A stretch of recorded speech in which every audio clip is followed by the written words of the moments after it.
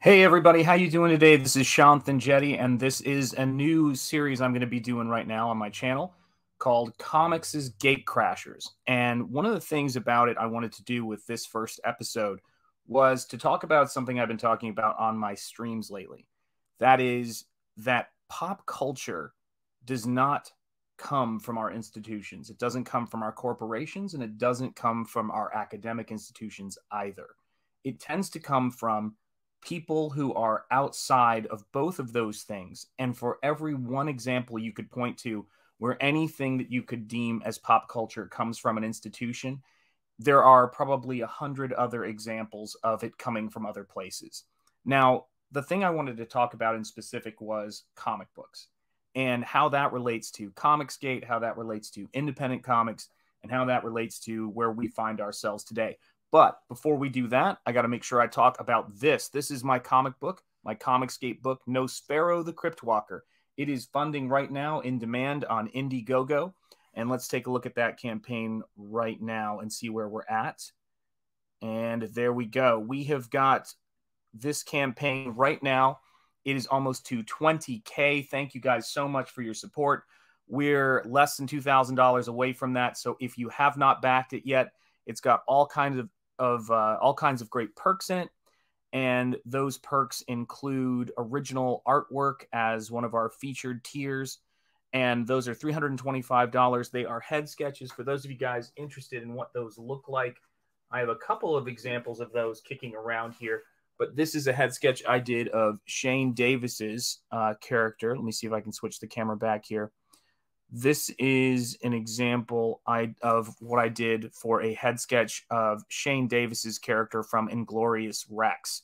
So, just to give you a sense of what you're paying for, for $325, you're getting a steal of a piece of artwork. And since the original pages are not for sale, that is your opportunity. There's only three of those left. And uh, if you are interested in one, move now to get one because I don't know if I'm going to be doing those again for another campaign. Certainly not as many as I'm doing for this one. So yeah, make sure you go and back Nosfero the Crypt Walker available now on Indiegogo. The link is in the description here. And like I said, you can get art uh, you can get uh, art books one and two as an add-on tier right now. All of those have sold out.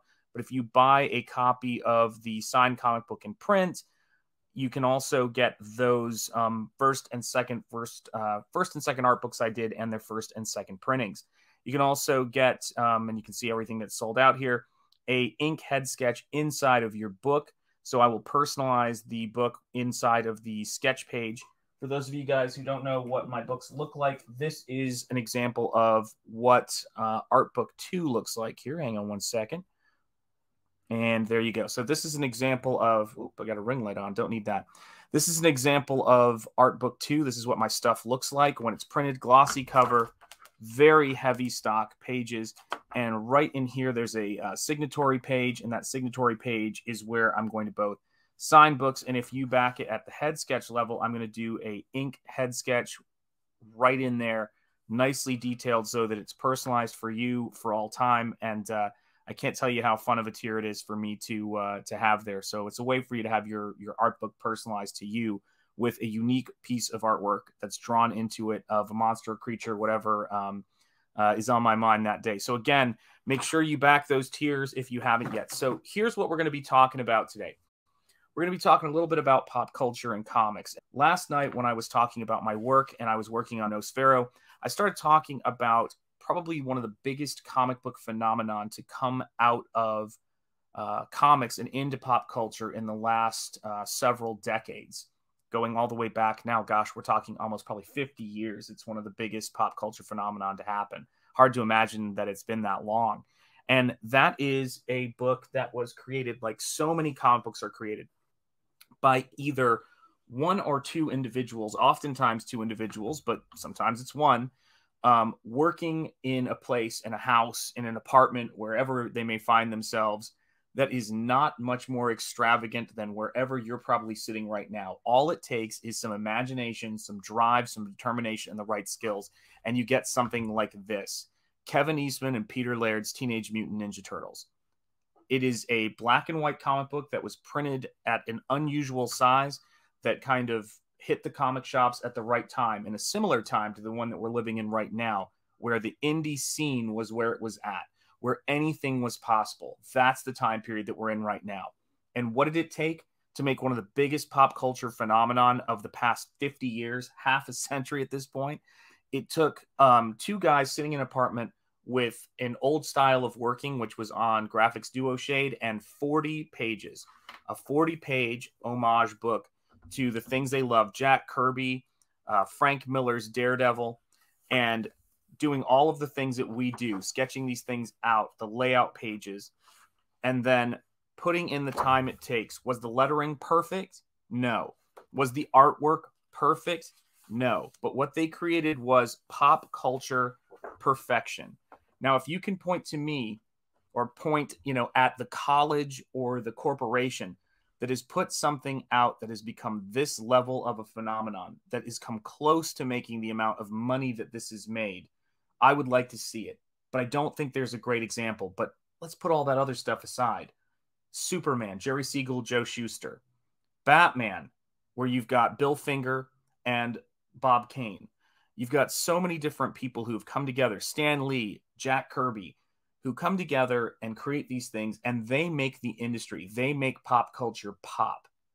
What happens when these these properties, whether it's George Lucas coming out of Modesto, California, all of these people are not from the places that we look to for our pop culture and entertainment right now. And that is why it's less pop culture and more fizzle culture. That's why you're starting to see these giant properties that we thought were indestructible, how short they live once the key people who are responsible for creating them are out of the scene, the stuff doesn't happen. So here's the thing I want to ask you guys. If this is the thing you want to be a part of from the ground up, why are you looking for pop culture at the big corporations? It's not even worth the mind numbing level that it may distract you for a short period of time.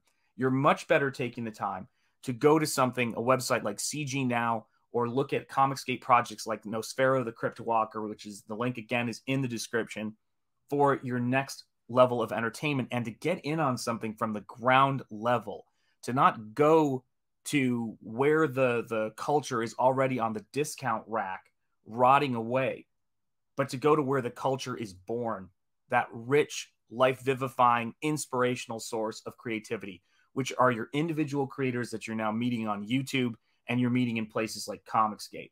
So I just wanted to send that video out to you guys today. I hope you're having a great morning or a great afternoon or a great evening or a great good night wherever you're located on this planet. If you haven't backed Nosfero yet, what are you waiting for, guys? Do you hear that wind outside right now? Those are the winds of change.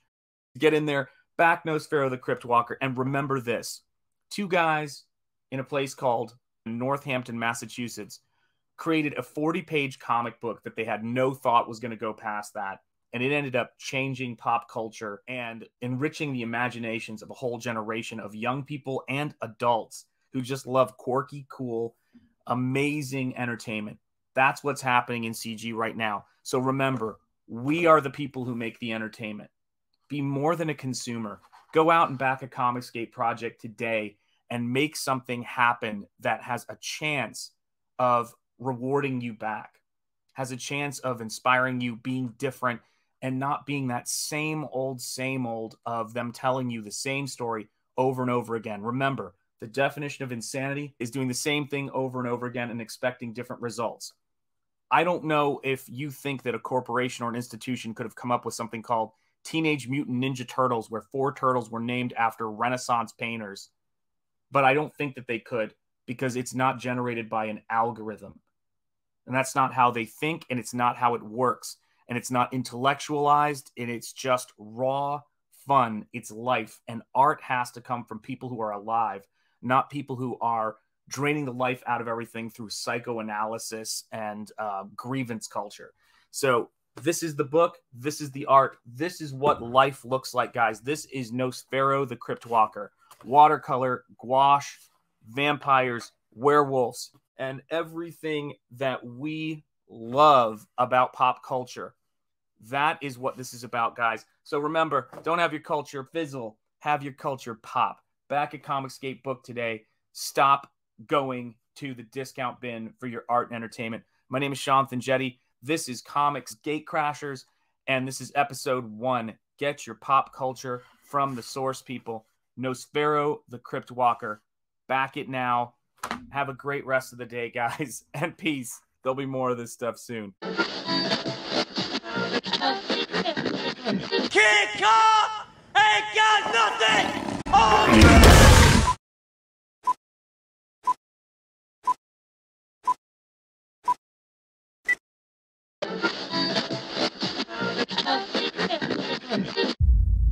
Nosfero is a supernatural hero that is a cross between the Shadow, Peter Cushing's Abraham Van Helsing, and Lovecraft's Henry Armitage. The lone surviving member of the secret order, he is sworn to battle a cult of vampires dedicated to opening the door to the eldritch gods they worship. Striking from his crypt lair deep within an impenetrable mire, Nosfero collects the cult's various grimoire and artifacts in an attempt to learn the means of defeating them. Supernatural abilities allow Nosfero to summon Phantomas, a giant phantom hound that can travel through the Nether to and from any location when needed. Nosfero's world is forever changed when he rescues a beautiful young maiden named Laurel from one of the cult's vile sacrificial rituals. Nosfero the Crypt Walker Volume 1 is my third Indiegogo campaign and will be a fully painted and lavishly illustrated pulp adventure story. Sensational, vivid, and uncompromisingly aspirational storytelling with an edge. Don't miss your chance to back Nosfero the Crypt Walker Volume 1, available for a limited time only on Indiegogo.